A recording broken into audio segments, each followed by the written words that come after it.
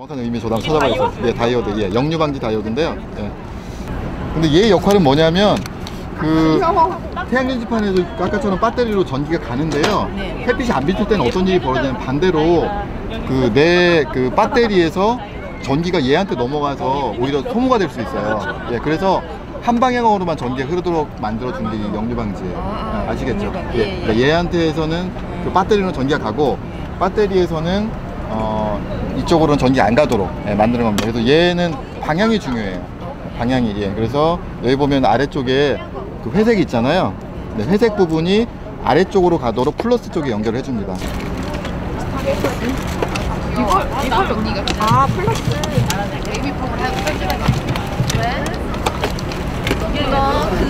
회색 있는 쪽을 아, 아, 그 위쪽 예, 이렇게 저는 U자로 꼬아가지고요. 얘를 네 얘를 요 밑에다가 이렇게 그냥 집어 넣어서요. 꽉꽉 눌러줘서 조이면 되거든요. 맞아 주황색 괜찮아. 나오면 되거든 네 이렇게 해서 어, 이쪽까지 나오게 한 다음에 조이면 네, 그럼 이렇게, 얘가 이게 물 이렇게 물리거든요. 예, 예, 물리도록 꽉꽉 조여서 딱 물리도록.